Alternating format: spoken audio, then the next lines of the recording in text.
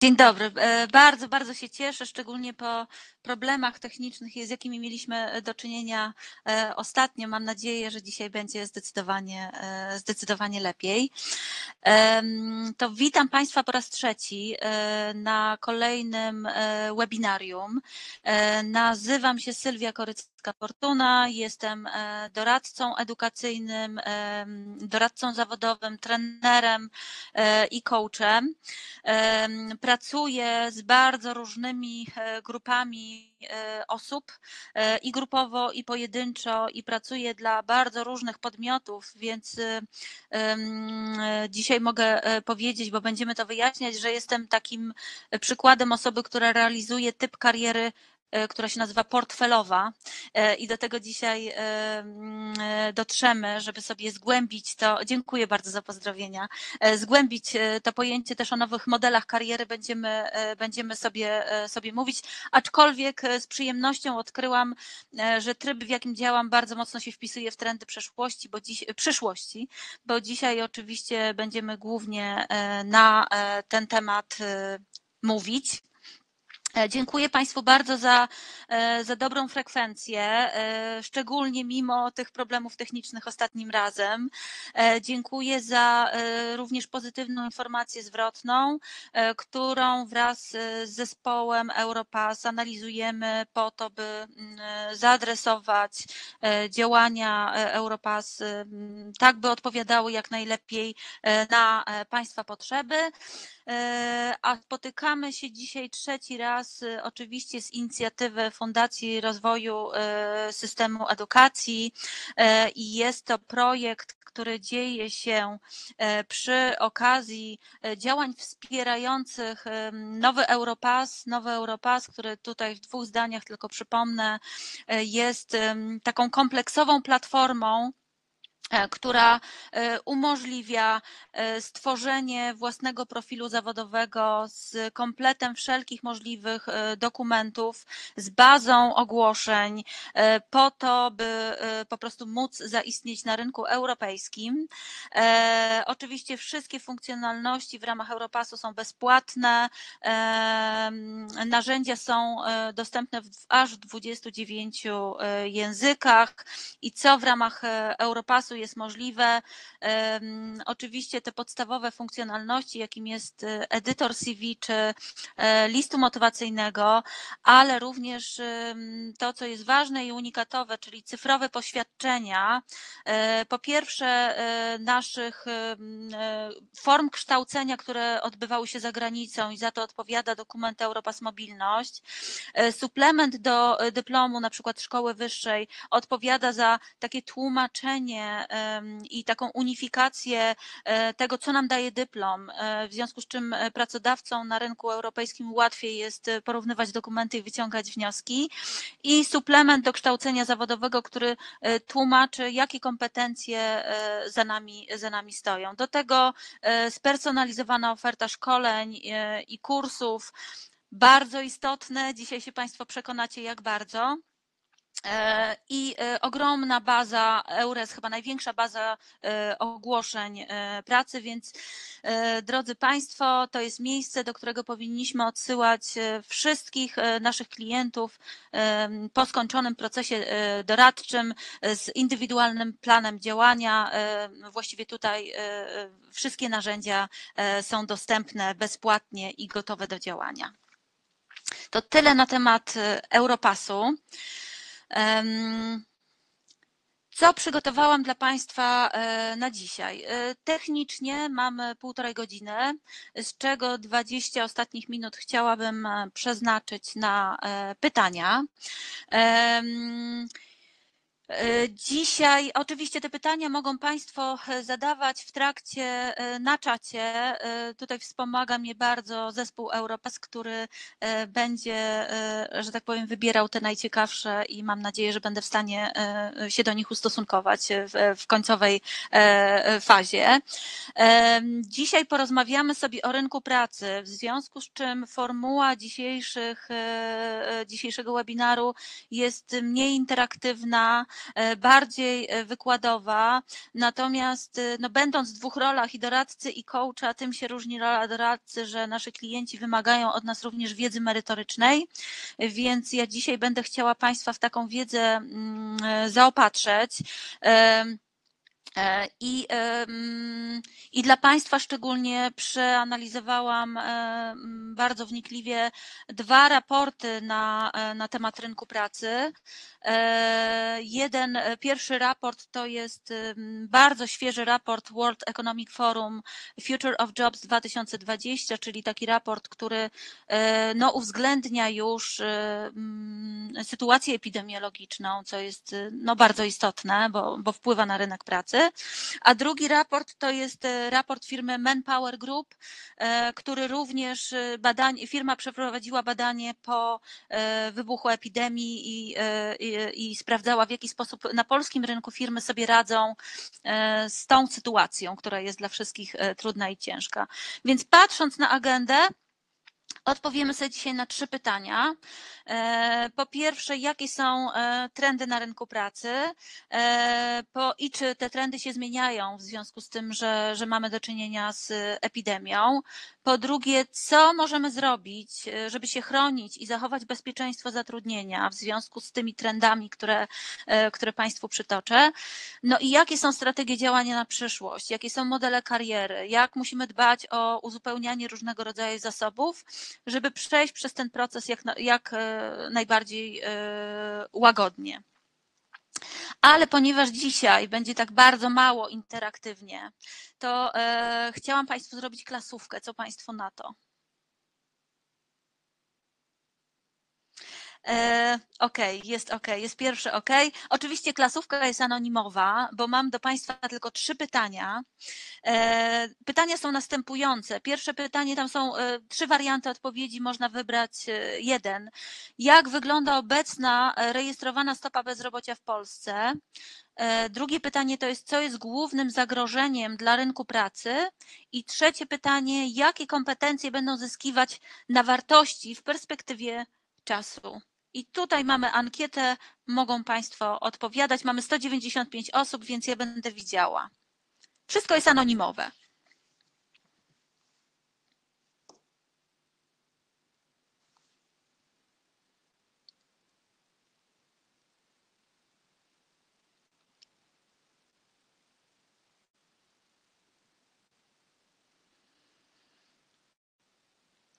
Ja na razie nie podpowiadam.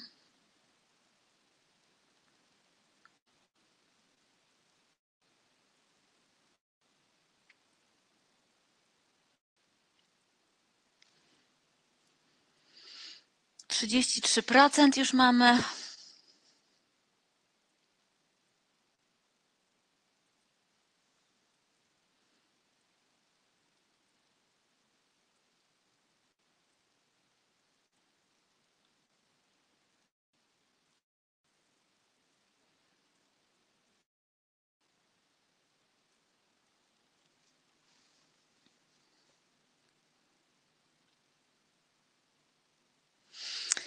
Na razie trendy są naprawdę super.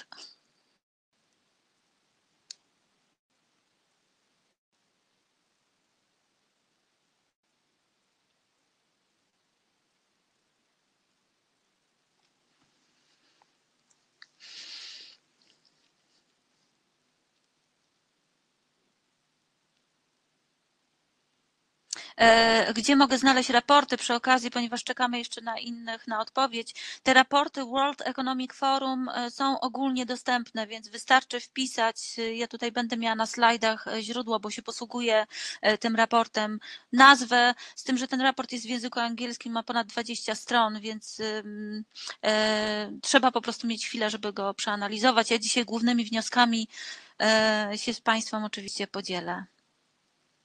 To jest raport, który jest wypuszczany co dwa lata przez, y, przez tą firmę.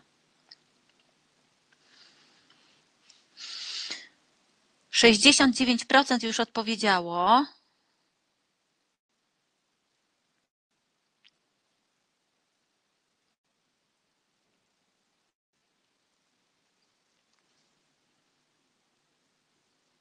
To jeszcze chwilkę zaczekamy. Chociaż widzę, że już liczba nam utknęła w miejscu, więc to jest chyba już trend, który, który zachowamy, więc czytam odpowiedzi. Znaczy, odpowiedzi oczywiście będę udzielać w trakcie webinaru, natomiast czytam, jak Państwo odpowiadali. E, jak wygląda obecna rejestrowana stopa bezrobocia w Polsce? No bardzo dobry trend. Y, już teraz mogę powiedzieć, że w tej chwili jest to 6,1%. To jest to bezrobocie e, rejestrowane. E, I sama jak sprawdzałam, to byłam mile zaskoczona. Myślałam, że, że po prostu bezrobocie jest w tej chwili nieco wyższe, głównie przez COVID, ale działają tarcze. Działają tarcze najwyraźniej. Drugie pytanie, co jest głównym zagrożeniem dla liczby miejsc pracy, e, odpowiedzi wyrównane, aczkolwiek COVID jest wskazywany jako główne zagrożenie, e, automatyzacja i robotyzacja na drugim miejscu. E, tu było trochę podchwytliwe pytanie, bo właściwie te dwa czynniki są głównym zagrożeniem i za chwilę będziemy sobie o nich opowiadać. Jakie kompetencje będą zyskiwać e, na wartości w, w, długoterminowej e, perspektywie? Kreatywność, rozwiązywanie problemów, rozwiązywanie problemów na pierwszym miejscu Świetna odpowiedź. E, także, e, drodzy Państwo, mam nadzieję, że e, jednak będę w stanie Państwa czymś zaskoczyć dzisiaj.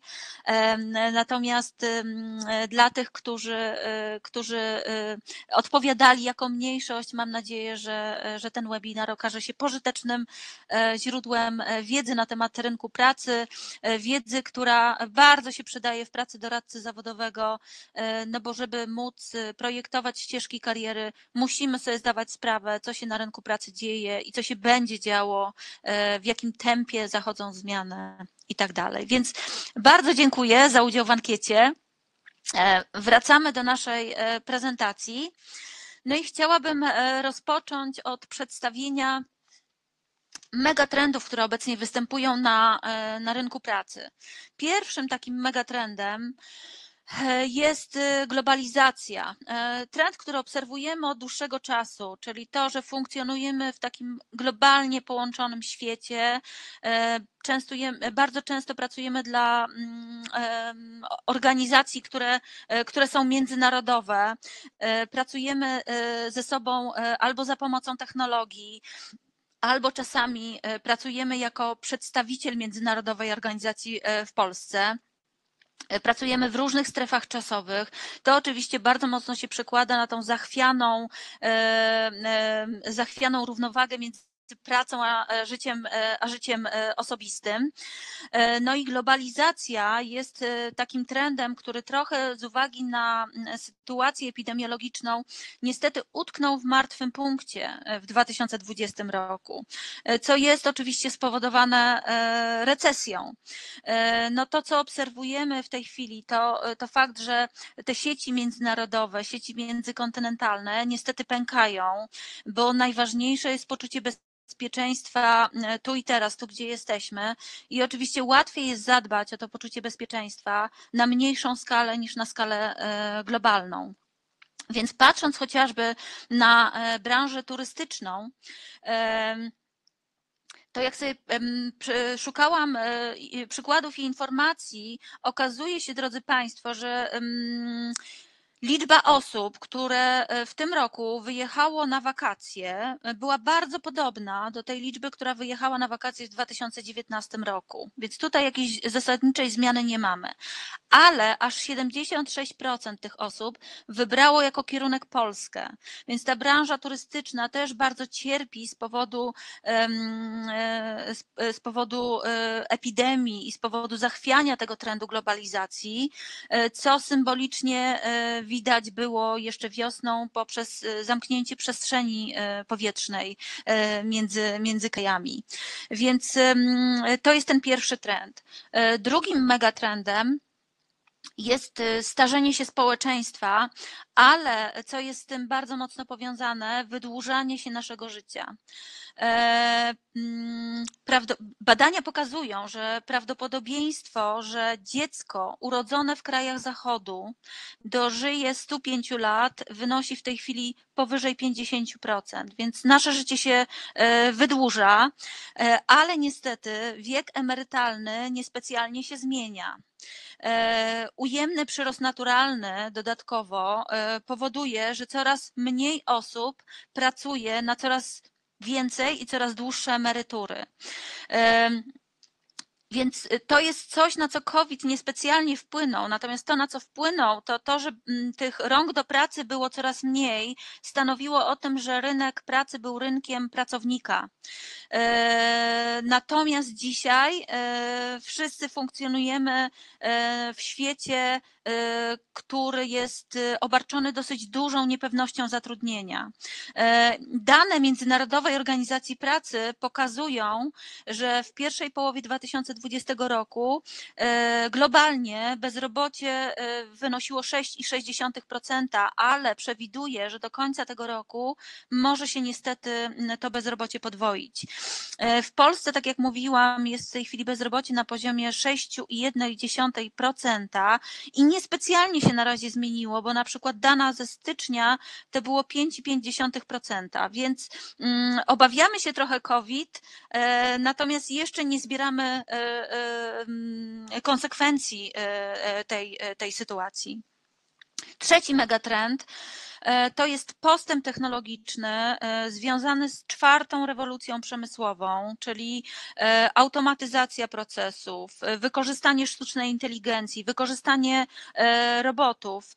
Mm, I tutaj taka ciekawostka i dana obecnie co dwa dni wytwarzamy tyle danych, ile ludzkość wyprodukowała od początku cywilizacji do początku XXI wieku.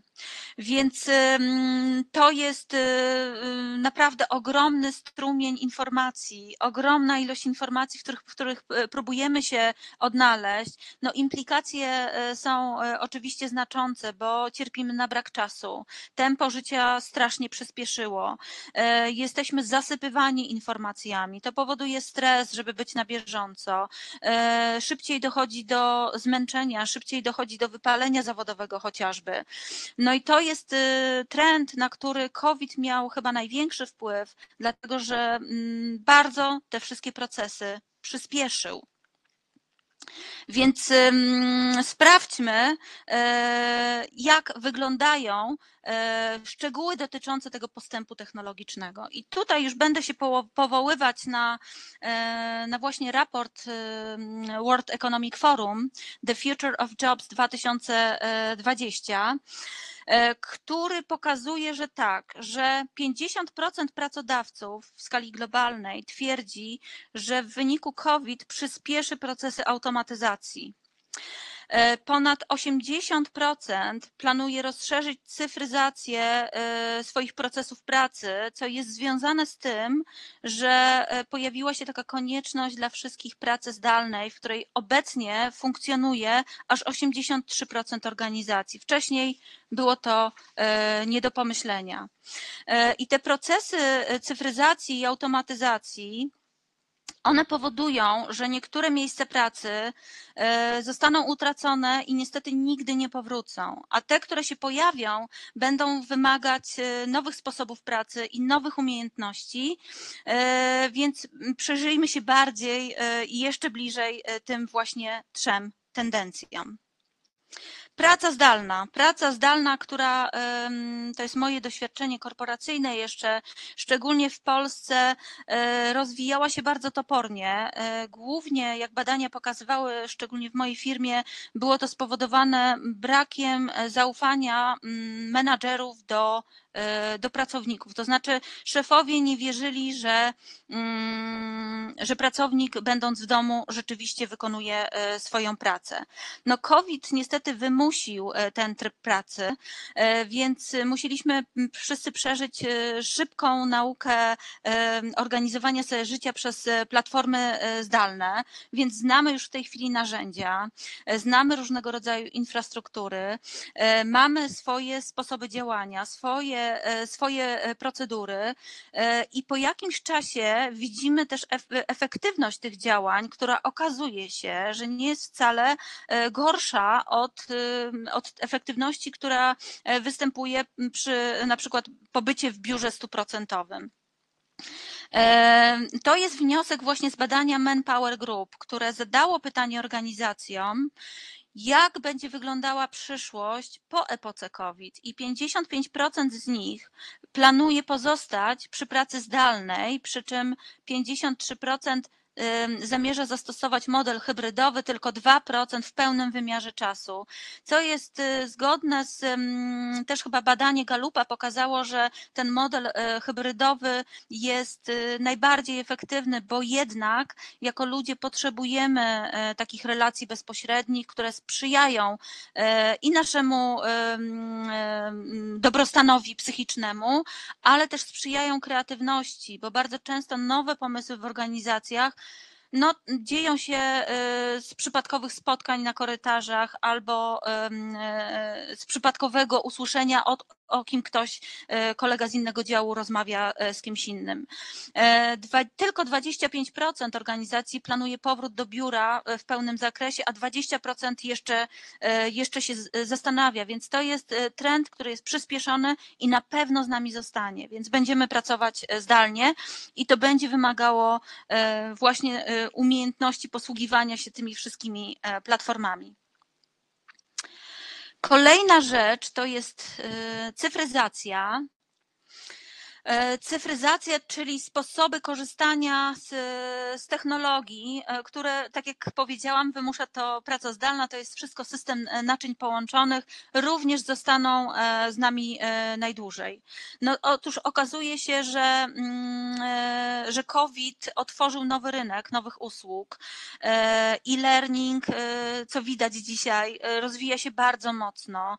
Też będę na koniec pokazywała statystyki, jak jest wykorzystywany jak bardzo mocno rośnie. E, natomiast z takich codziennych rzeczy okazuje się, że, mm, że można złożyć wniosek do Urzędu Pracy drogą elektroniczną i nie trzeba go oprócz tego jeszcze drukować i w teczce e, dostarczać bezpośrednio. Okazuje się, że można e, otrzymać receptę na lek, że można odbyć wizytę lekarską, no, która oczywiście pozostawia wiele do życzenia, ale jednak wcześniej było to nie do końca możliwe. Czy masowo mogą się odbywać lekcje szkoła, w szkołach w formule e, online. No i tutaj taka informacja, że wiele uczelni wyższych e, zdecydowało się też na przyjęcie tego trendu jako, jako pewną stałą, tak? E, więc w ten sposób będą, przynajmniej część zajęć będzie się odbywać. Też przeczytałam w jednym z raportów, że do roku 2045 e, ponad 90% transakcji kupna-sprzedaży ma się odbywać online, więc niech sobie Państwo wyobrażą, jak bardzo będzie się rozwijać właśnie branża e-commerce i jak bardzo e, będzie wymagała od nas tych e, kompetencji, kompetencji cyfrowych. I kolejną rzeczą, o którą też pytałam w ankiecie, jest y, automatyzacja. Automatyzacja, która w parze e, z COVID i z recesją e, związaną z COVID-19 tworzy e, tak zwany scenariusz podwójnych zakłóceń dla pracowników. Czyli po pierwsze, pracownicy i tak mierzą się z pewnymi blokadami zatrudnienia, które są związane z właśnie ze skurczem gospodarczym, też z niepewnością jutra. Więc mimo, że ogłoszeń o pracę jest wciąż dużo, tak te procesy trochę utknęły w martwym punkcie i, no i tych zatrudnień e, jest e, odrobinę mniej, czyli wszyscy trochę e, są tak przyczajeni i czekają, co będzie, co będzie się działo. Natomiast to, to, to, to, drugie zakłócenie powoduje, że firmy są zmuszone do automatyzacji niektórych procesów, w związku z czym będą wykluczać e, niektóre zawody, głównie te, które funkcjonują w ramach ręcznych lub e, powtarzalnych ról, zarówno tutaj chodzi o prace fizyczne, jak i, jak i umysłowe. 43% firm wskazuje, że są nastawione na zmniejszenie siły roboczej dzięki automatyzacji. I tutaj badanie i taka grafika z raportu, że dziś stosunek mm, prac wykonywanych przez ludzi w stosunku do prac wykonywanych przez maszyny to jest 67 do 33%, natomiast w ciągu 5 lat praktycznie się to wyrówna. Co spowoduje, że niektóre miejsca pracy niestety niepowtarzalnie znikną i będzie tych miejsc pracy globalnie około 85 milionów, więc całkiem sporo. Natomiast dobra wiadomość jest taka, E, że e, pomimo tego wypierania niektórych zawodów e, przez procesy automatyzacji, powstaną do 2025 roku nowe miejsca pracy i będzie ich 97 milionów, więc więcej niż, tak, na całym świecie, więc więcej niż, niż tych, które, które znikną z rynku pracy. Najbardziej pożądane role w przyszłych, na przyszłych rynkach pracy obejmują tutaj popatrzmy, e, analityków danych, obejmują naukowców, e, specjalistów w zakresie e, sztucznej inteligencji i uczenia maszynowego, inżynierów robotyki, inżynierów oprogramowania, twórców różnego rodzaju aplikacji, ale też osób, które będą się zajmować bezpieczeństwem w sieci i cyberbezpieczeństwem. Niestety, E, jak sobie porównałam e, raport z 2020 roku z tym e, raportem z 2018 roku, no to widać, że mm, tworzenie nowych miejsc spada natomiast przyspiesza e, wypieranie przez automatyzację e, tych e, zawodów powtarzalnych. W raporcie z 2018 roku ten trend był nieco inny, bo szacowano, że liczba miejsc pracy w perspektywie pięciu lat wyparta przez automatyzację to jest 75 milionów, więc 10 milionów mniej. Natomiast szacowano, że powstanie 133 miliony nowych miejsc pracy, a więc dużo, dużo więcej. Więc ta różnica e, się niestety kurczy. I mamy tutaj e, bardzo, bardzo zauważalną e, różnicę. Więc spójrzmy, dokąd odchodzą pracownicy z tych zagrożonych zawodów. Czyli Relokacja siły roboczej, pojęcie, z którym e, właściwie już w tej chwili mamy e, do czynienia i ono trwa. E, analizując osie kariery dla różnych grup zawodowych, tutaj łatwo można zauważyć, że niektóre grupy zawodów dają nam większe możliwości przejścia do nowych grup zawodów niż inne. I na przykład taka grupa zawodowa e, związana z danymi i sztuczną inteligencją, e, raport pokazuje, że tylko 50% zmian dotyczy nowych grup zawodowych, czyli oni raczej e, specjalizują się w swojej dziedzinie niż przechodzą do nowych e, grup zawodowych. Natomiast takie stanowiska jak na przykład sprzedaż, jak produkcja kontentu, czy też inżynieria, no tutaj mamy proporcje 75%, 72%, czy też 67% w przypadku inżynierii. Więc można powiedzieć, że te ostatnie grupy zawodów E, dają szersze możliwości transferu kompetencji do nowych zawodów, podczas gdy inne niestety stanowią większe, e, większe wyzwanie. Na szczęście e, te, które stanowią większe wyzwanie, tak jak widzieliśmy, e, w ramach tych kategorii będzie też powstawać dużo więcej nowych e, miejsc pracy.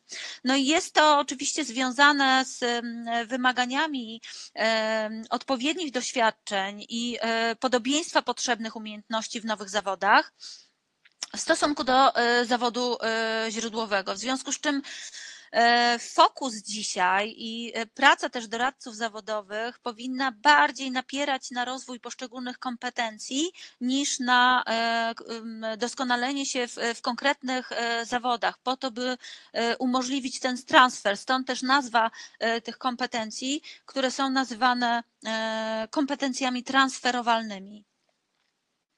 Cóż to za kompetencje? Kompetencje, które czasami są nazywane kompetencjami przyszłości, y, y, one zostały mm, przez raport y, podzielone na cztery takie klastry pracy, z czego najważniejszą i największą grupą jest kompleksowe rozwiązywanie problemów. E, dzisiaj świat tego szuka i to jest coś, co nas odróżnia od maszyn. Maszyny e, potrafią działać tylko na bazie wczytanych algorytmów, natomiast jak trzeba wyjść poza schemat, e, człowiek jest tutaj E, człowiek jest tutaj e, prezentacja tak, będzie, będzie zamieszczona na stronie. Człowiek jest tutaj bardzo niezastąpialny, na szczęście. W ramach tej grupy kompetencji mamy myślenie analityczne i innowacyjność. Mamy myślenie krytyczne, krytyczne myślenie związane z tym właśnie napływem tej dużej grupy informacji. No musimy umieć oddzielić tak zwane ziarna od plew i wybrać te informacje, które są dla nas kluczowe, od tych, które są e, dla nas e, zbędne.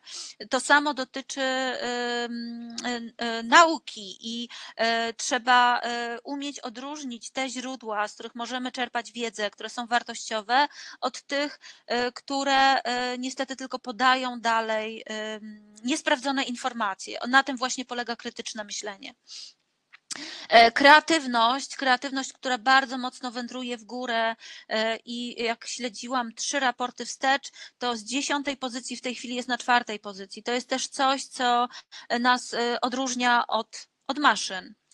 Drugą grupą kompetencji jest samozarządzanie, czyli mm, tutaj pojawiają się takie cechy jak odporność, jak tolerancja na stres, jak e, elastyczność. No i ten wzrost tych wymaganych kompetencji e, no jest oczywisty, ponieważ e, pracownicy dzisiaj w tym świecie pewnym wyzwań no, napotykają na szereg presji, aby dostosować się do nowych, bardziej cyfrowych i szybciej działających sposobów pracy.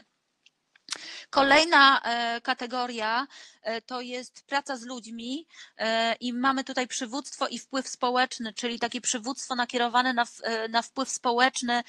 Tutaj się chcę podzielić przykładem. Większość oczywiście organizacji działa w ten sposób, że podstawą ich działania jest wygenerowanie zysku.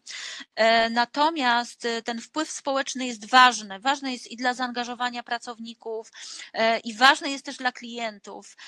Wczoraj na przykład weszłam sobie na stronę Coca-Coli, e, którą wszyscy znamy i Coca-Cola od dawna już nie ma strategii działania opartej o to, że sprzedajemy napój e, do picia. Wcześniej Coca-Cola mówiła o tym, że sprzedaje radość. E, dzisiaj, w związku z tym, że świat się zmienia, Coca-Cola na swoich stronach mówi o tym, że wierzę w świat bez odpadów, ponieważ pracują nad y, ekologiczną e, butelką, więc y, to jest ten kierunek, żeby był istotny wpływ społeczny w przywództwie. E, I ostatnia grupa to są te umiejętności e, związane z rozwojem nowych technologii, czyli e, coś takiego jak wykorzystanie, projektowanie, programowanie technologii, wdrażanie, wdrażanie technologii. Więc tutaj nawet jeśli nie będziemy wybierać na przyszłość zawodu związanego z programowaniem, bo oczywiście no z mojego doświadczenia pracy w szkole powiedzmy, że programistami chce być no, góra 10% osób. Mówię o liceum ogólnokształcącym to i tak w różnych innych zawodach będziemy zmuszani wykorzystywać te kompetencje e, i, e, i naszą e, znajomość cyfrowych, cyfrowych rozwiązań. Czego wymaga od nas dzisiaj rynek pracy? E, dane z ostatnich e, pięciu lat pokazują, że pracownicy bardzo często, żeby przejść nowe role, nie potrzebują idealnego e, zestawu umiejętności. Natomiast pokazują też, że w ciągu najbliższych pięciu lat 40% aktualnego zapotrzebowania na umiejętności się zmieni. Więc tutaj e, to jest też wzrost 4 e, punktów procentowych w stosunku do raportu sprzed dwóch lat.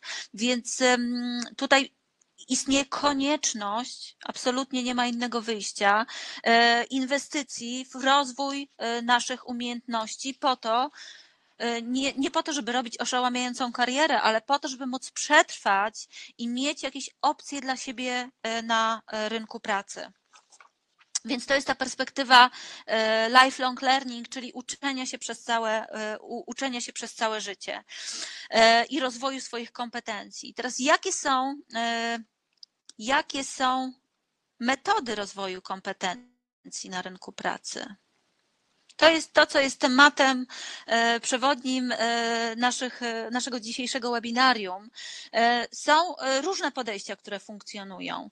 Pierwszy z tych, z tych trendów to jest skilling, który polega na tym, że zdobywamy nowe umiejętności, które nam pomagają wytrwać w danym zawodzie, w danym stanowisku. Skilling jest bardzo naturalnym etapem zaraz po wejściu na rynek pracy, kiedy e, dysponujemy jakąś wiedzą teoretyczną, ale żeby móc wykonywać określone obowiązki, no to musimy też zdobyć wiedzę praktyczną. Ale dzisiaj skilling dotyczy również późniejszych etapów kariery. I z czym to jest związane? Otóż związane jest to z tym, że niemal w każdym zawodzie potrzebne są kompetencje cyfrowe i bez nich E, niemal w każdym zawodzie, nawet w zawodzie nauczyciela, dzisiaj jest bardzo e, e, trudno funkcjonować. I tutaj taki przykład. W Wielkiej Brytanii 90% nowo powstałych zawodów wymaga umiejętności cyfrowych. I teraz e, zapotrzebowanie e, na pracowników wykwalifikowanych w tym obszarze będzie rosło, a luka kompetencyjna będzie się stale powiększać, gdyż e, postęp technologiczny dzisiaj następuje zdecydowanie szybciej niż zdolność przyswajania tych wszystkich nowinek technologicznych e, przez człowieka.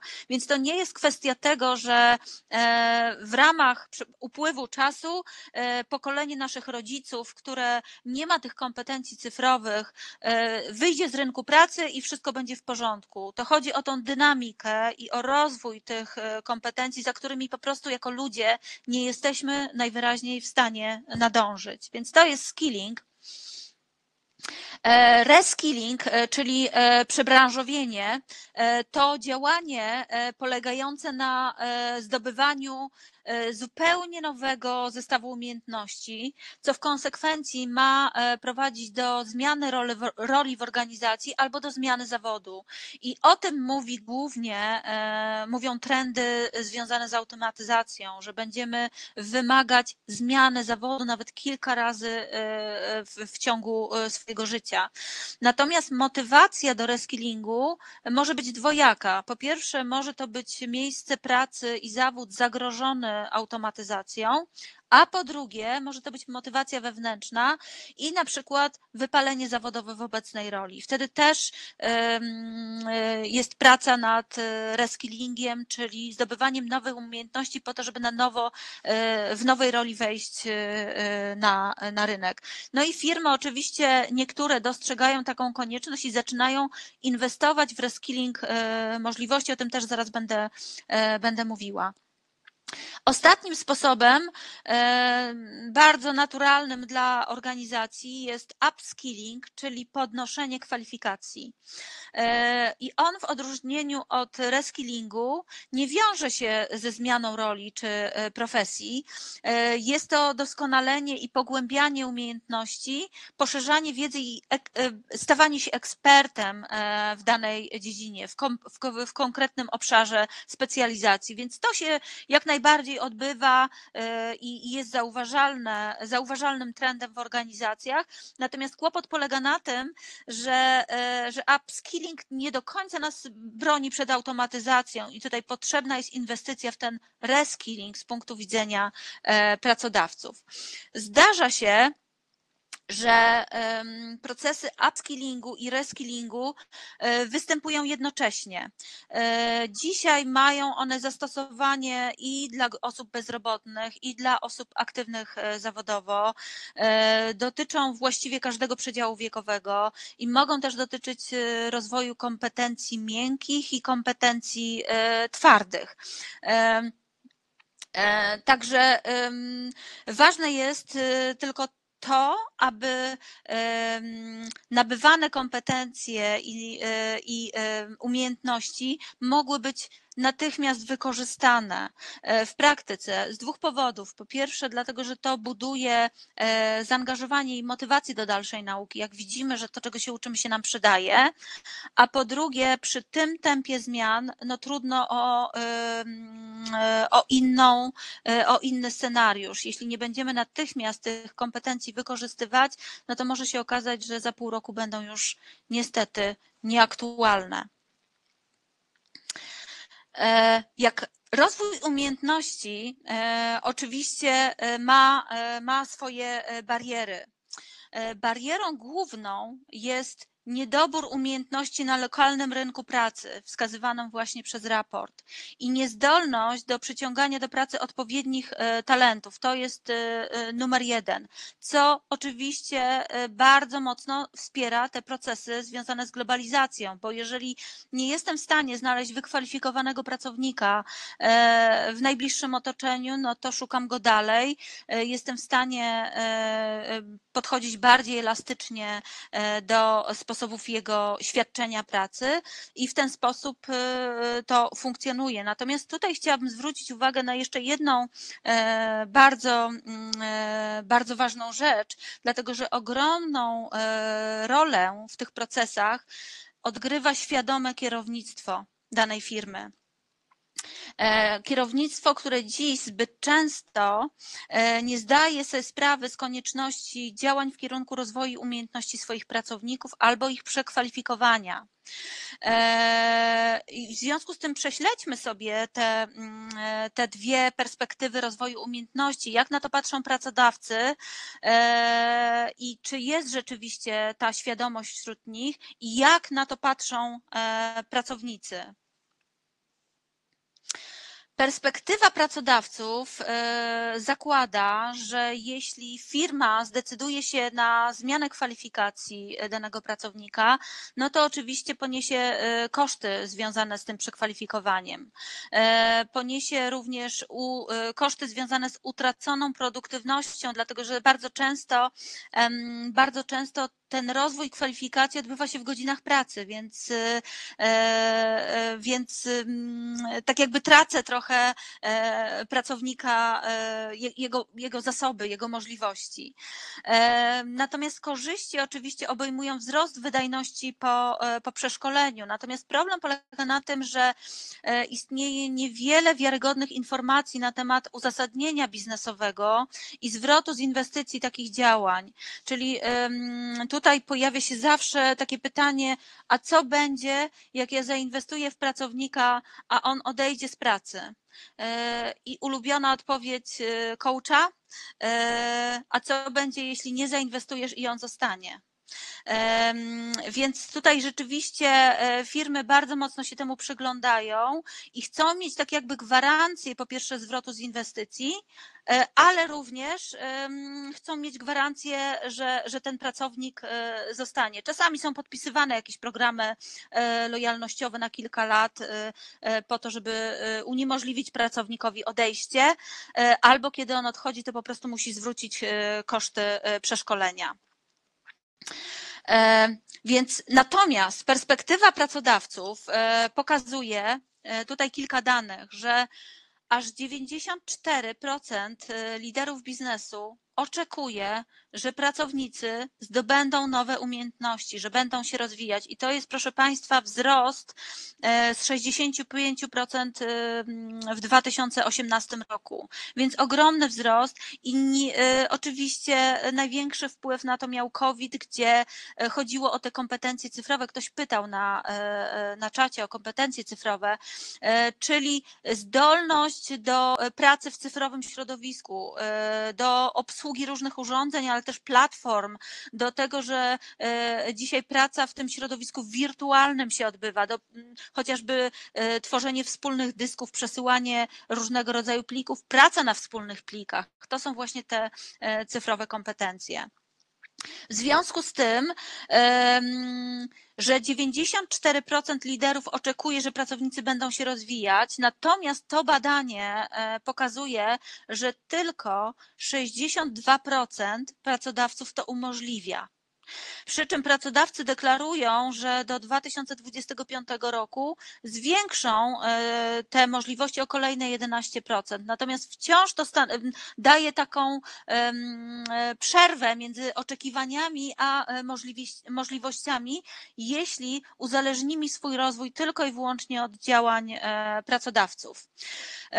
To, co jeszcze raport wskazuje, co jest y, no, kwintesencją tego szybkiego życia, w którym funkcjonujemy, że przekwalifikowanie ma trwać 6 miesięcy lub krócej, więc już teraz można zapomnieć o pięcioletnich studiach, na których będą nas y, y, wysyłać y, pracodawcy. Wszystko jest szybko tutaj te, i teraz i efekty mają być natychmiast.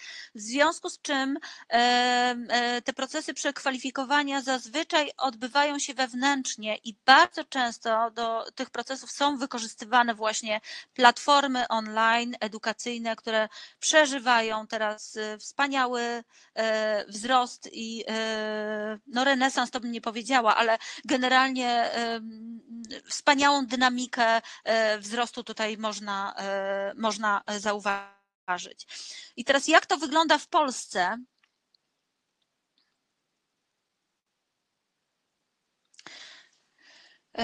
I tutaj chcę się powołać na e, z kolei ten drugi raport, czyli raport Manpower Group, e, które, który pytał pracodawców o ocenę nowej rzeczywistości rynku pracy. No i to, co widać, to, to ostrożność i zachowawczość polskich firm. W związku z tym jest bardzo utrudnione podejmowanie e, długofalowych decyzji, a do długofalowych decyzji zdecydowanie należy zaliczyć inwestycje w rozwój pracownika. E, priorytetem w tej chwili dla firm jest e, zatrzymanie talentów w organizacji. Rozwój jest na trzecim miejscu 42%, ale rozwój rozumiany jako upskilling, czyli specjalizowanie się w danym e, zakresie, dlatego że to jest również w interesie firmy. Reskilling pracowników, proszę Państwa, jest na przedostatnim miejscu, czyli 18%, więc firmy teraz są niechętne, przynajmniej w Polsce, do tego, żeby inwestować w zdobywanie nowych umiejętności przez pracowników. Więc w tej sytuacji niestety nie mamy wyjścia, jak e, wziąć sprawy e, również e, w swojej, swoje ręce. I teraz kilka słów na temat perspektywy pracownika. Strasznie dużo gadam, muszę przyspieszyć. Perspektywa pracownika. Tutaj chciałabym się podzielić badaniem e, niestety z 2018 roku, więc jeszcze e, sprzed perspektywy covidowej, które pokazuje, że pracownicy coraz częściej wyrażają chęć uzyskania możliwości podnoszenia kwalifikacji i rozwoju. Tutaj na pozycji czwartej i piątej mamy okazje do nauki, okazje do rozwoju kariery, które są na liście przed aspektami finansowymi i przed bezpieczeństwem bezpieczeństwem naszym e, e, w pracy. Natomiast raport również pokazał, że tylko 42% pracowników podejmuje wspierane przez pracodawcę możliwości przekwalifikowania. No, każdy z nas tego doświadczył, że pracodawca e, oferuje jakieś kursy, z których nie korzystamy, bo i tak mamy tyle pracy, że jak nas to nie interesuje, to wydaje nam się, że no, kiedy mielibyśmy to zrobić. Więc tak to wygląda. E, I teraz jeszcze perspektywa polska, czyli znowu wracamy do raportu e, Men e, Power Group która pokazuje, że to, co nas motywuje do zmiany pracy dzisiaj, to jest niestety wynagrodzenie. Więc te, ta hierarchia wartości nieco się zmieniła. Trudno się temu dziwić, dlatego że w oparciu o wynagrodzenie budujemy bardzo często swoje poczucie bezpieczeństwa. Natomiast chcę z całą odpowiedzialnością powiedzieć, że jest to e, perspektywa bardzo krótkoterminowa, dlatego że e, no tu widać taką tendencję do zasiedzenia się po to, żeby czuć się bezpiecznym. Natomiast prawdziwym niebezpieczeństwem jest zasiedzenie się bez rozwoju e, nowych umiejętności. Więc my musimy jako pracownicy również wykazywać chęć do tego, żeby rozwijać dalej swoje umiejętności. W tej chwili podążamy za pieniędzmi, ale, e, ale tak jak mówię, wydaje się to naturalna reakcja obronna. Natomiast sami bardzo mocno również inwestujemy w naukę online. E, tutaj, jak szukałam e, danych na ten temat, to szczerze byłam e, zdziwiona, bo platformy online'owe odnotowały czterokrotny wzrost liczby osób poszukujących możliwości uczenia się z własnej inicjatywy i aż dziewięciokrotny wzrost liczby osób korzystających y, z, z, kursów online, więc to staje się kanonem, że zdobywamy wiedzę w ten sposób. Trochę czego innego szukają osoby bezrobotne, a czego innego szukają osoby zatrudnione. Osoby zatrudnione kładą nacisk na kursy rozwoju osobistego i to jest 88% wzrostu, więc całkiem gigantyczny wynik. Natomiast osoby bezrobotne raczej kładą nacisk na uczenie uczenie się umiejętności e, cyfrowych, czyli e, analiza danych, e, informatyka, technologie informacyjne i tak dalej, i tak dalej. Więc jakie są podstawy do tego, jak się zmotywować do tego, żeby rzeczywiście brać czynny udział w tym procesie ciągłego uczenia się i ciągłego zdobywania wiedzy. Tak jak mówiłam, e, trochę nie mamy wyjścia, dlatego że e, no nasza e, długość życia się absolutnie wydłuża i ta wizja, mm, ta wizja trzyetapowego życia, gdzie najpierw była nauka, potem była praca, a potem była emerytura, trochę, y, trochę już jest y, nieaktualna. Dzisiaj te wszystkie etapy bardzo mocno się przenikają, więc niestety musimy, musimy sobie z tym, musimy sobie z tym radzić. I tutaj konieczne jest w skali życia e, inwestowanie w nowe kompetencje i w e, przekwalifikowanie się i aby tego dokonać, e, należy no niestety dobrze zarządzić sobą w czasie. I tutaj jest uważam, ogromna rola e, całej branży związanej z doradztwem zawodowym, e, dlatego że no, świadomość tego, jak będzie wyglądał rynek pracy w przyszłości, jest naprawdę dzisiaj, e, dzisiaj niewielka, więc rozmawiajmy i z rodzicami, i rozmawiajmy z, z naszymi klientami po to właśnie, żeby ich uświadomić, że bez planu na to, jak, jak można działać w przyszłości, naprawdę e, trochę się skazujemy na, e, na niebezpieczeństwo i, e, i, i ryzyko. I w związku z tym zarządzaniem sobą w czasie pojawiają się trzy nowe modele kariery, o których chciałabym powiedzieć. Tylko przerzucę slajd. Pierwszy model kariery to jest odkrywca. E, no i nie wiem, czy Państwo znają, ale ja znam sporo takich osób, które e, nagle mm, twierdzą, że rzucają wszystko i e, będą teraz jeździć po świecie i podróżować po świecie. Albo jest to związane z takim zjawiskiem bardzo modnym wśród młodzieży i przyprawiającym o zawał rodziców, które się nazywa gapier, czyli jak ktoś kończy na przykład szkołę średnią, to mm, e, żeby świadomie podjąć decyzję co do dalszych kroków, potrzebuje przerwy. E, I czasami ta przerwa e, niestety jest potrzebna pod warunkiem, że zostanie dobrze wykorzystana. To jest bardzo ciekawy, rozwijający się trend który polega na tym, że muszę zbadać świat wokół siebie, muszę wyjść trochę poza schemat, po to, żeby sobie odpowiedzieć na pytanie, kim ja jestem, a potem znaleźć dla siebie miejsce e, na rynku pracy. Więc tutaj kłania się moja ulubiona samoświadomość. Natomiast, żeby dobrze to zaplanować, to co jest wymagane? No, wymagane jest jednak wyrwanie się z codziennego życia, więc wyjście z tych e, codziennych schematów, po to chociażby, żeby zobaczyć, e, jak funkcjonujemy w tych schematach i jakimi przekonaniami czasami mylnymi się posługujemy. Tak, forma wolontariatu jak najbardziej, y, ale to forma wolontariatu jest w trzecim typie e, kariery, do którego zaraz przejdziemy. E, wy, wymaga, e, rola odkrywcy wymaga również e, nowych miejsc, nowych ludzi, nowych doświadczeń, które na nowo kształtują nasz światopogląd i czasami nam pokazują perspektywy, których do tej pory nie widzieliśmy. No wymaga też czasu, nie da się tego zrobić szybko i co jest ogromnie istotne przy każdej zmianie wymaga zabezpieczenia finansowego. Więc dzisiaj oszczędzanie pieniędzy na te krótkie momenty przejść między jednym zawodem a drugim, między odkrywaniem co dalej, albo żeby inwestować w swój rozwój, jest niestety koniecznością. Więc y, jeśli chodzi o zajęcia szkolne, to doradztwo zawodowe bardzo mi się ładnie łączy z, z przedsiębiorczością, e, bo, e, no bo tutaj trzeba też młodych ludzi uświadamiać, że, że to jest absolutnie kluczowe. Dlaczego? Dlatego, że jak taki odkrywca trochę się rzuci w przepaść e, i, e, i nagle odkryje, że nie ma już z czego żyć, to bardzo szybko wróci do starych sposobów e, działania i do pracy. No i jest na najlepszej drodze do, do wypalenia zawodowego, a to trochę nie o to chodzi.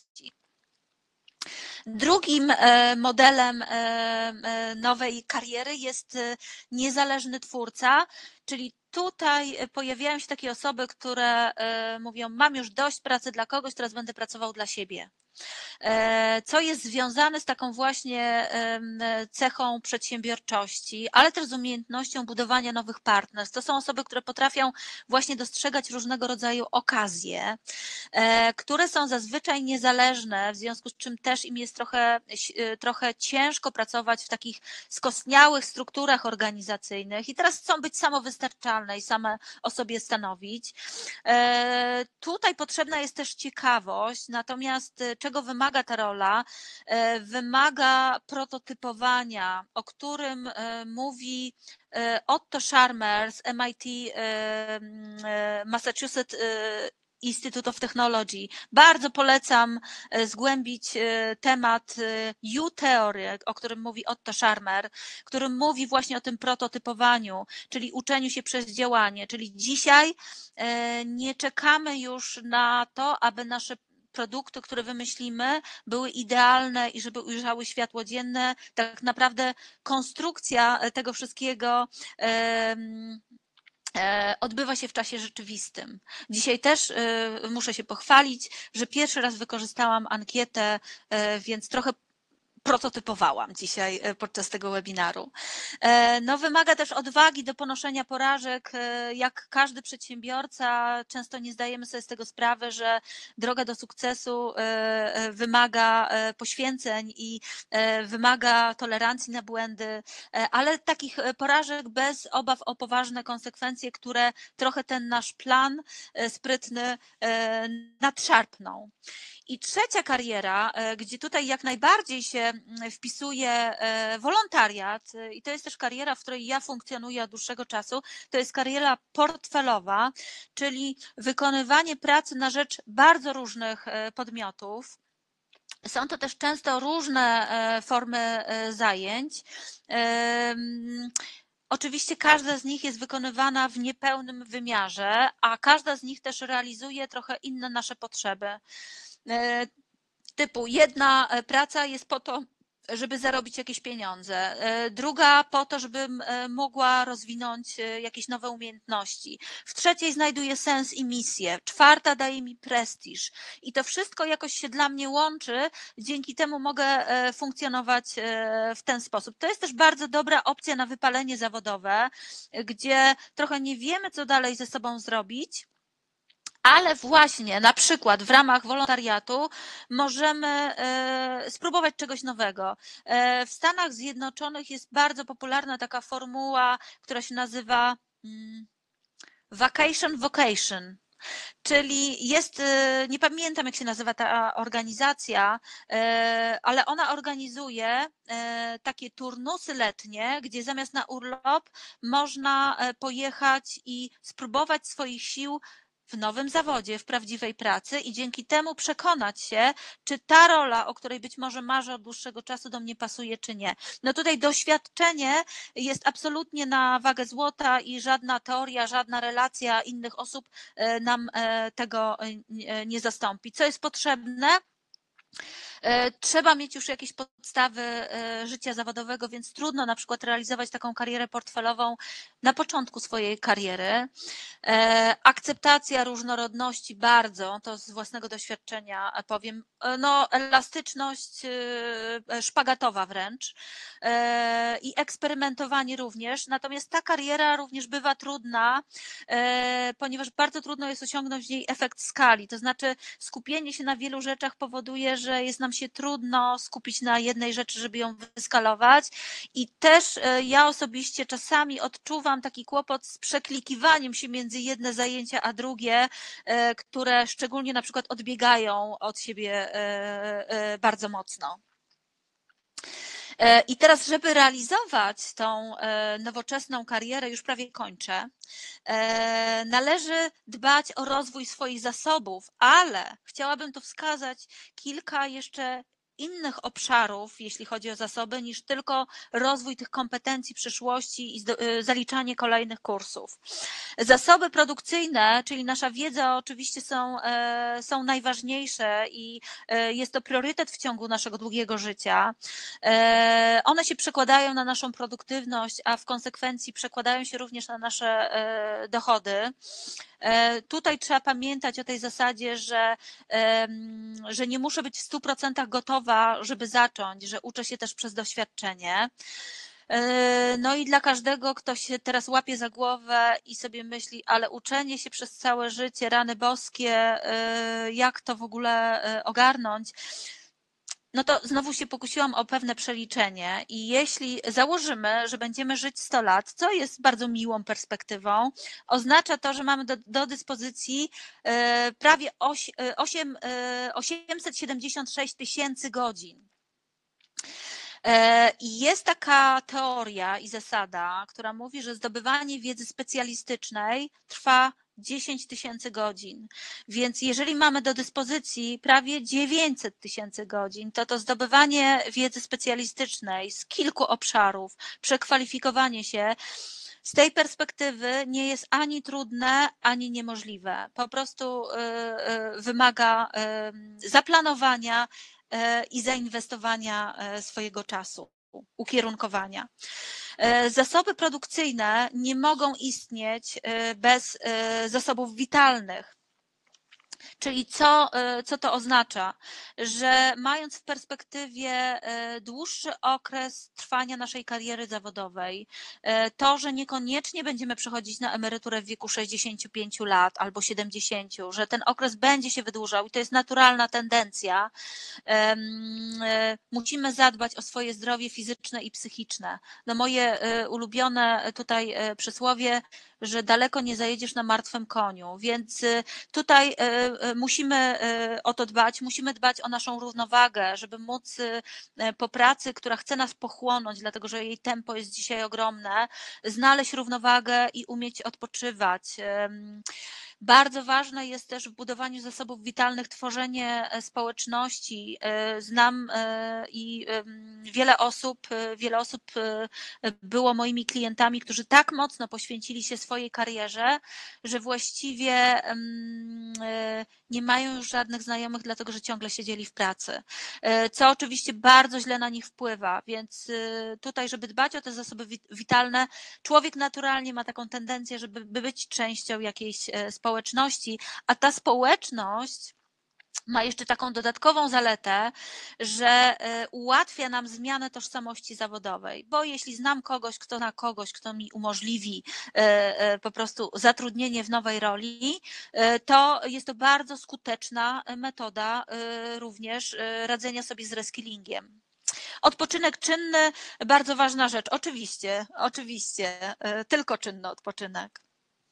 I ostatnia e, grupa zasobów to są zasoby transformacyjne, e, które odpowiadają za to, że e, skutecznie dokonujemy tych przejść między, między kolejnymi zajęciami. One odpowiadają za tą motywację do radzenia sobie ze zmianą, do tego, że jesteśmy w niej wytrwali, nawet jeśli one są trudne, a pewnie każdy z nas napotka na taki moment, kiedy one okażą okażą się trudne. No i to jest taka też zdolność do radzenia sobie z niepewnością, bo no, jedyne, co jest pewne w zmianie, to jest właśnie to niepewność, a jedyne, co jest pewne w życiu, to zmiana. Więc te zasoby transformacyjne bardziej dotyczą trochę naszej osobowości i takich miękkich kompetencji, samozarządzania właśnie, czyli jak ja sobie radzę z, z przeciwnościami na tym bardzo wymagającym rynku pracy, gdzie jedyną pewną jest zmiana. I teraz jeszcze chcę powiedzieć dwa słowa na temat samej E, natury przejść. No, okazuje się, że większość ludzi niestety e, wykazuje brak zasobów i brak umiejętności, które przygotowują ich na tą transformację. I albo tutaj chodzi właśnie o, e, o, tej brak, o taki brak odporności psychicznej, albo o to, że nie inwestują w nowe umiejętności, które otwierają im kolejne opcje i kolejne drzwi. Natura przejść jest taka, że, że one nie następują z dnia na dzień, że mm, są do tego potrzebne okresy przygotowawcze, chociażby po to, żeby zdobyć te, e, e, te dodatkowe e, umiejętności. To też jest tak, że one nie, nie dokonują się, dokonują się właśnie stopniowo i cechą charakterystyczną przejść jest tak zwana liminalność. To mi bardzo pomogło, kiedy ja dokonywałam swoich przejść, że mm, to jest taki okres zawieszenia między jedną pracą a drugą, gdzie on jest obarczony właśnie bardzo dużą niepewnością. E, I e, jeśli nie wiemy, że to jest normalny proces i e, natura tych przejść, to zaczynamy wtedy poddawać wątpliwość ten swój plan, typu ojej, czy ja dobrze wybrałam, czy ja dobrze zdecydowałam. Jest to absolutnie normalny e, charakter tych przejść i każdy przez to przechodzi. Więc dla mnie ta wiedza, że tak jest, była e, wspierająca i oświecająca wręcz.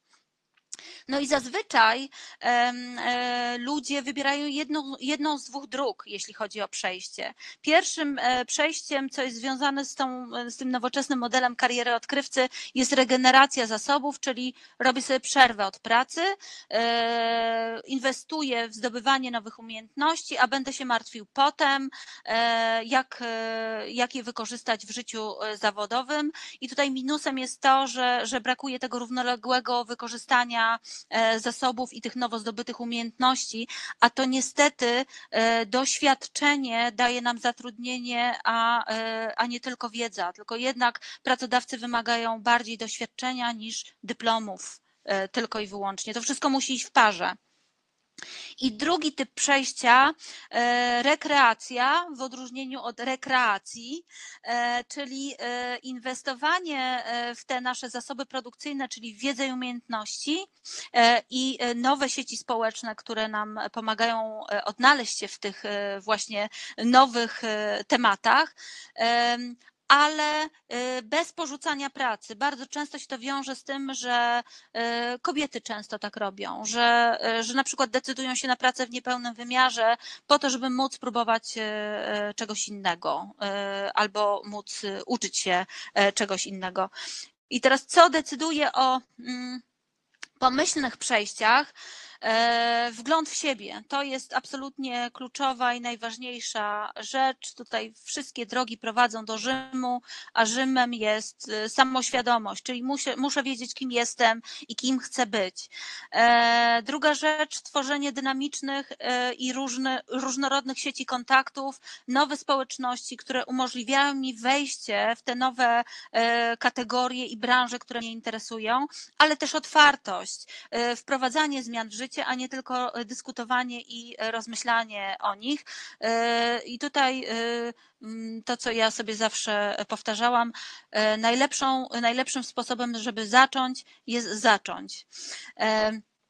No i tutaj oczywiście jest konieczność, absolutna konieczność zabezpieczenia finansowego, dlatego że to bardzo mocno wpływa na, e, na pomyślne e, przejścia, e, dlatego że jak się pojawia stres związany z finansami, to on natychmiast zawęża perspektywy naszego myślenia, no i wtedy, wtedy chcemy najczęściej wracać do, do roli, która, która nam nie służyła, więc planując przejścia musimy sobie zadać takie dwa pytania. Jak długo będę musiał przetrwać i jak długo chciałbym na to pracować i, i co dalej i odłożyć na to odpowiednią, odpowiednią kwotę.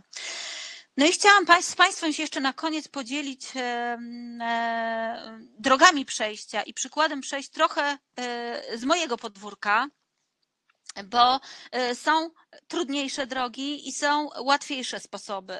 E, to jestem ja, która przez wiele lat swojego życia e, pracowałam w różnych skomplikowanych rolach w korporacji, których nazw nie będę przytaczać, natomiast sprowadzało się to do tego, że właściwie byłam sprzedawcą. E, na tam różnym poziomie, e, sprzedawcą w telewizji. No i kiedy doświadczyłam wypalenia zawodowego, no to odkryłam, że ja chcę być szkoleniowcem. I teraz co tu zrobić? Oczywiście e, znalezienie pracy w charakterze szkoleniowca w firmach szkoleniowych, do, do czego należy branża konsultingowa, no było rzeczą absolutnie niemożliwą, ale musiałam się o tym przekonać na własnej skórze, dlatego że no jesteśmy zatrudniani, tak jak powiedziałam, na bazie doświadczenia doświadczenia. Bez doświadczenia, nawet z dyplomami, trudno nam jest y, po prostu dokonać takiego kroku. Więc co ja mogłam zrobić? I każdy z nas może. Albo e, szukać pracy w tym samym charakterze, ale w branży, która już jest bliżej e, tego, co chcemy robić, czyli zatrudnić się jako sprzedawca w branży e, konsultingowej. I ja próbowałam to zrobić, niestety tu mi się to nie, nie udało i skończyło się niepowodzeniem, ale być może za mało się starałam. Natomiast to jest zdecydowanie łatwiejsza droga i kiedy już zaczepimy się w tej firmie, to potem z roli sprzedawcy do roli szkoleniowca, w momencie, kiedy wiemy, jak wyglądają wewnętrzne procesy, procesy, kiedy wiemy, kiedy odbywa się rekrutacja na stanowisko naszych marzeń, staje się zdecydowanie prostsza. E, I druga droga, z której ja skorzystałam, że starałam się wykorzystać wszystkie absolutnie możliwości, by prowadzić szkolenia w telewizji. E, to było niezgodne z moim profilem e, zadań codziennych. Robiłam to kosztem swoich zasobów witalnych, czyli wolnego czasu inwestując e, w to wysiłek. Natomiast to dało mi potrzebne doświadczenie po to, żeby móc się potem przekliknąć e, na, e, na pracę moich marzeń i, i na pracę w tej branży, w której chciałam być. Oczywiście ta droga pośrednia z dwoma przejściami bywa dłuższa, ale jest łatwiejsza. Natomiast znam też oczywiście takie przypadki, gdzie trudna droga szybsza się udaje i tutaj ta sieć kontaktów e, e, i networking jest absolutnie, e, absolutnie kluczowa. Więc już, żeby nie przedłużać, dwa slajdy mi zostały. żeby nie przedłużać. Podsumowanie.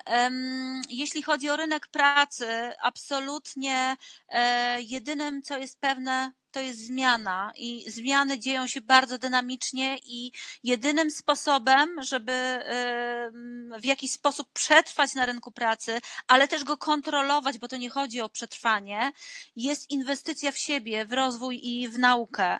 E, wybór pracodawcy jest ogromnie istotny, a takie pytanie e, o to, czy e, drogi pracodawco, jak bardzo rozwijasz umiejętności swoich pracowników, inwestujesz w ich wiedzę, w ich reskilling pojawia się na rozmowach kwalifikacyjnych bardzo rzadko, a powinno bardzo często.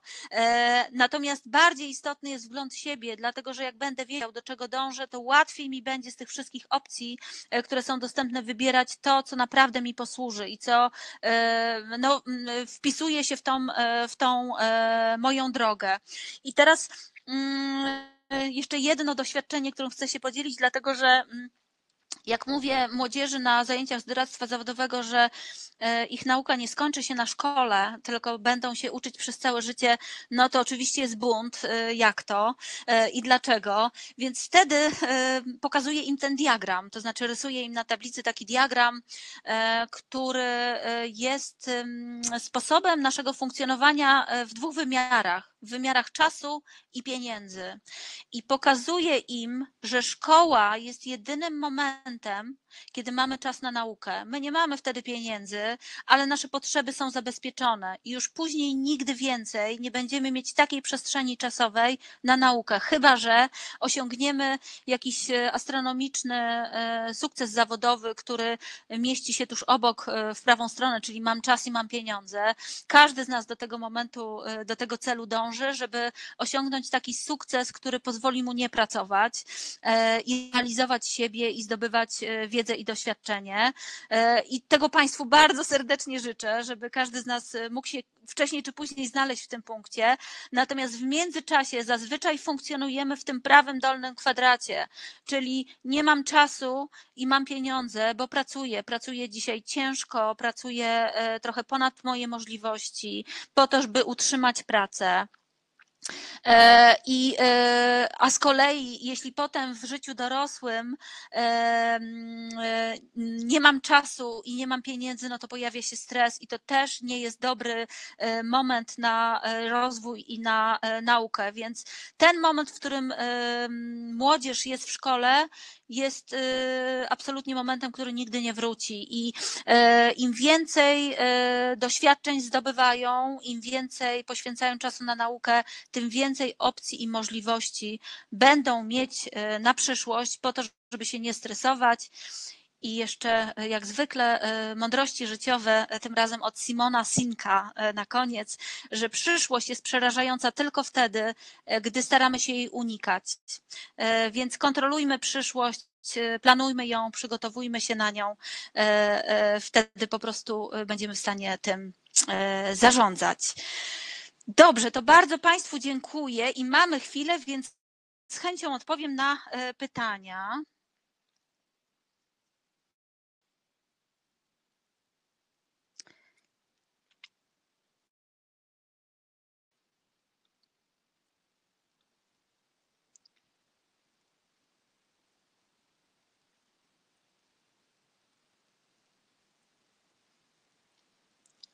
Coś nie mogę przerzucić, przepraszam bardzo.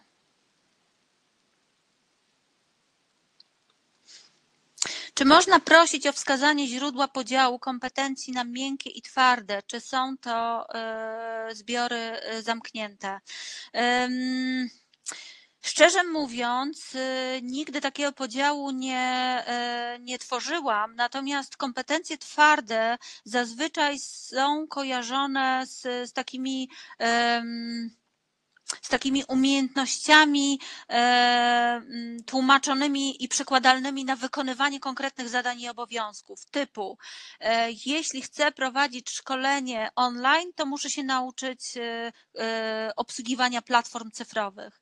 Natomiast kompetencje miękkie to są takie kompetencje, że nigdy nie prowadziłam szkoleń, ale poradzę sobie z tym stresem i tremą e, i, e, i będę w stanie, e, będę w stanie to szkolenie zrealizować. I trudno dzisiaj stwierdzić, które z nich są ważniejsze, a które są mniej ważne, dlatego że kompetencje miękkie zazwyczaj wpisują się w tak zwaną inteligencję emocjonalną, która jest ogromnie ważna, bo o ile te twarde kompetencje czy pozwalają nam zdobyć pracę, o tyle kompetencje miękkie pozwalają nam ją utrzymać, więc dlatego to jest tak ogromnie istotne, żeby inwestować i w jedne, e, i w drugie kompetencje. Czy są to zbiory zamknięte? E, myślę, że przy tej dynamice raczej nie są to zbiory zamknięte. To w każdym raporcie pojawiają się coraz to nowe, nowe opcje, no, na przykład to kompleksowe rozwiązywanie problemów. Myślę, że jeszcze 10 lat temu nikt by nie pomyślał, że to będzie tak ważna E, tak ważna e, kompetencja. Zastanawia mnie również temat kosztów pozyskania pracownika, bo kierownictwo szybciej podejmuje decyzję o zwolnieniu i szukania kolejnego niż jego reskillingu. E, no tak, muszę Państwu powiedzieć, że dzisiaj miałam przyjemność rano prowadzić e, warsztat z wypalenia zawodowego, więc akurat jestem e, na bieżąco z, ze statystykami i badaniami i to też nie będzie polski rynek, natomiast tam był chyba rynek albo brytyjski, albo amerykański, który wskazywał, wskazywał, że koszt przeszkolenia nowego pracownika w momencie, kiedy podjęliśmy decyzję o zwolnieniu, no zamyka się nawet do 250% jego wynagrodzenia. Wymaga to oczywiście również wysiłku, bo trzeba takiego pracownika znaleźć, więc koszt jest ogromny. I moje doświadczenie pracy korporacyjnej pokazuje, że taka świadomość, że są koszty y, zatrudnienia i przekwalifikowania pracownika istnieje, tylko nie do końca firmy potrafią coś z tym dalej, y, y, dalej zrobić i jednak idziemy na łatwiznę typu jak nie masz jakichś możliwości, to ja ci podziękuję, zatrudnię sobie, sobie kogoś, kogoś nowego niestety. Ale tu znowu, znowu e, te miękkie umiejętności i, e, e, i inteligencja emocjonalna jest ogromnie istotna. Ciekawe, w którym okresie kwartale przygotowano raport Future of Jobs 2020. To jest raport z października. Czy to było przygotowywane przed okresem pandemii? Nie, po. To znaczy, jesteśmy cały czas w okresie e, pandemii, więc on jest przygotowywany e, w trakcie, natomiast głównie ten raport e, skupia się na, tym, na tych konsekwencjach COVID-19. Mam wrażenie, że pandemia przewartościowuje to, co do tej pory było ważne również pod kątem sytuacji na rynku pracy. Oprócz branży informatycznej i usług IT, wydaje mi się, że rynek pracy się zmieni i całkowicie będzie, będzie zapotrzebowanie na inne specjalności specjalizacje, niekoniecznie zawody przyszłości, ale powrót do zawodów, na których będzie najbardziej, na które będzie najbardziej zapotrzebowanie po pandemii zwłaszcza zawody społeczne, e, medyczne e, i opiekuńcze. E, pani Justyno, bardzo bym chciała, żeby tak było. Trendy trochę pokazują coś innego. Trendy pokazują, że te sposoby właśnie pracy zdalnej z nami zostaną i jak wiemy, nawet medycyna zdalna się bardzo mocno e, rozwija, aczkolwiek prawda jest taka, że człowiek w wyniku tych zmian bardzo cierpi, więc mm, też są badania, które mówią, e, że mm, te zawody pomocowe typu psycholog, e, typu coach, typu właśnie doradca zawodowy będą się bardzo mocno rozwijać, bo ta ilość informacji, która do nas napływa, jest tak ogromna, że naprawdę trzeba się specjalizować w tym, żeby być z tym na bieżąco, więc y, ludzie będą e, korzystać ze specjalistów różnego rodzaju, również z takich funkcji opiekuńczych. Nie wiem, czy odpowiedziałam wystarczająco na to pytanie. Ciekawe pytanie pana Pawła, na które nie znam odpowiedzi. Jak mierzyć osiągnięcie sukcesu w doradztwie zawodowym? Eee, panie Pawle, dla mnie osobiście e, sukcesem e, w doradztwie zawodowym, no też pytanie, czy e, w procesie grupowym, czy w procesie indywidualnym i dla jakiej grupy. Ja sobie przyjęłam takie założenie, że jeśli e, z klas, dla których prowadzę zajęcia, chociaż jedna osoba świadomie zaplanuje swoją karierę, a nie e, zaplanuje jej pod kątem rozszerzam język polski, bo e, lubię nauczyciela od polskiego, to jest to dla mnie sukces, bo tutaj liczy się to, to poczucie wpływu na, na to, by, by ktoś inny dokonywał świadomych decyzji. Jeśli chodzi o E, indywidualne procesy, to E, ja bardzo często utrzymuję kontakt z moimi klientami e, po zakończonym procesie doradczym i pytam, jak sobie e, radzą. I, i właściwie nie mierzę w żaden sposób tego sukcesu, ale wyciągam wnioski i aplikuję je na moją przyszłą pracę, bo to jest dla mnie też ogromna wiedza, co działało, co nie działało. Dlatego między innymi też pytam Państwa zawsze po webinarze, co się Państwu podobało, a co się Państwu nie podobało. Więc nie mam tutaj jakiejś gotowej odpowiedzi, jak mierzyć osiągnięcie sukcesu, e, panie Pawle, e, ale chętnie bym podyskutowała. Jeśli, e, jeśli jest pan na to otwarty, to proszę do mnie napisać. Być może wpadniemy na jakiś wspaniały pomysł. I jest jeszcze od pani Agnieszki. Przygotowujemy projekt power właśnie w tematyce doradztwa zawodowego, na co szczególnie powinniśmy zwrócić uczniom uwagę, jeśli chodzi o europejski rynek pracy. No ja myślę, że tutaj najlepszymi ekspertami będzie ekipa Europasu.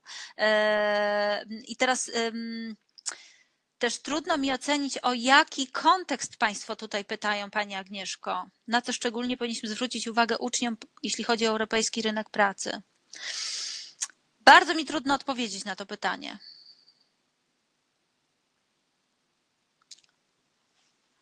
O, okej. Okay. Pani Agnieszka coś odpisała. Mm, projekt nazywa się Moja przyszłość w moich rękach. Ja myślę, że tutaj e, e, już nazwa e, projektu jest, jest tutaj bardzo istotna i chyba nie będzie się to znacząco różnić, czy to będzie w tym kraju europejskim, czy, czy w innym kraju. Tu chodzi o rozwój takiego osobistego przywództwa e, i rozwój poczucia odpowiedzialności za e, swoją karierę. To jest to, z czym ja miałam do czynienia w swoim przypadku, ale też widzę, co, z czym do mnie przychodzą klienci, którzy na przykład całe życie pracują w takich bardzo skostniałych strukturach korporacyjnych. To znaczy, oni mają takie oczekiwanie, że e, ktoś z zewnątrz zadba o ich przyszłość, nawet jeżeli mają 45 lat. Więc rozwój takiego przywództwa, e, e, które tutaj Państwo świetnie ujęli w tytule, pod tytułem Ta moja kariera jest w moich rękach i co ja mogę zrobić, i jest to ważna rzecz, i powinienem się tym interesować, jest ogromnie ważna i na co jeszcze bym postawiła, zawsze na to stawiam, na rozwój samoświadomości. No to jest, y, y, tak jak powiedziałam, droga do Rzymu. Jeszcze ostatnie pytanie.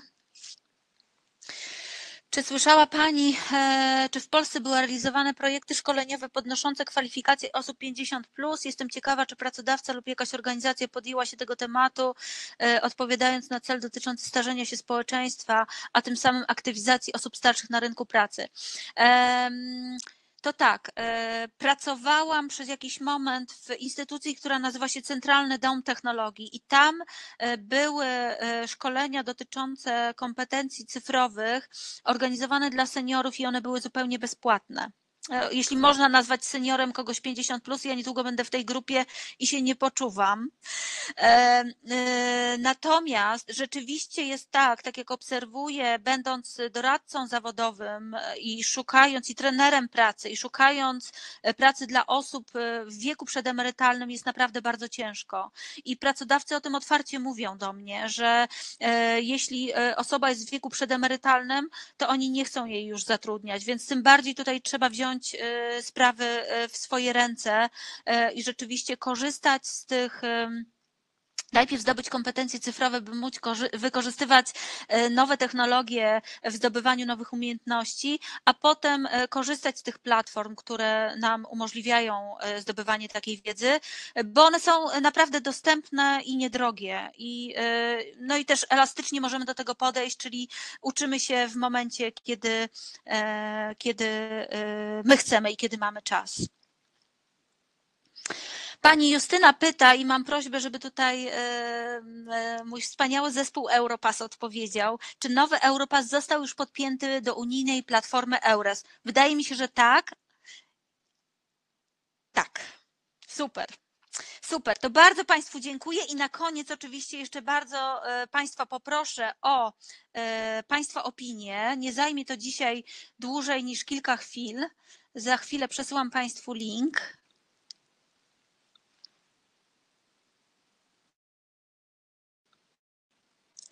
W czacie.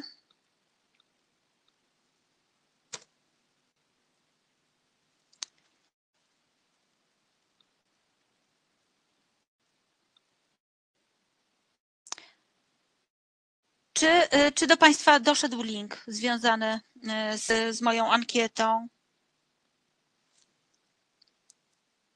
Tak, super. Będę Państwu bardzo wdzięczna za, za opinię e, i zapraszam na kolejne szkolenie za dwa tygodnie, dokładnie 20 e, listopada. Będziemy e, no już bardziej praktycznie zgłębiać tajniki rozmowy kwalifikacyjnej, więc mam nadzieję, że będzie bardziej interaktywnie. Bardzo, bardzo Państwu dziękuję. Pozdrawiam serdecznie i do usłyszenia.